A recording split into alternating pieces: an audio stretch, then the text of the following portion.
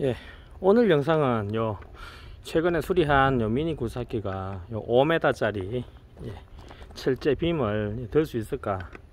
예, 뭐 무게는 얼마 안 나갈 것 같습니다. 한 300kg 나갈라나? 근데 사람이 못 들기 때문에 그래서 미니 굴삭기를 또 쓰려고 하는 거 아니겠습니까?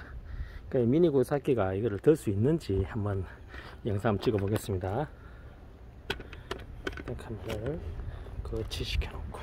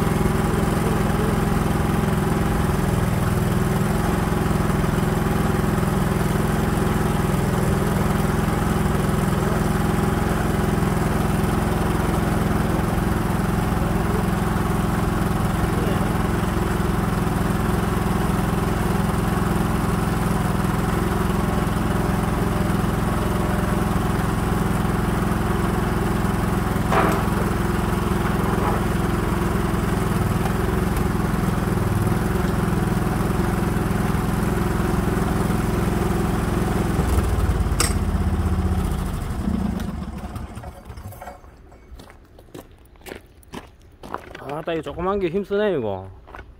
예, 이건 내가 이거 죽어뜨기 해도 못 들어옮기는데. 아 그 삽질하는 것보다 낫겠습니다. 예, 오늘 영상은 여기까지 하겠습니다. 예.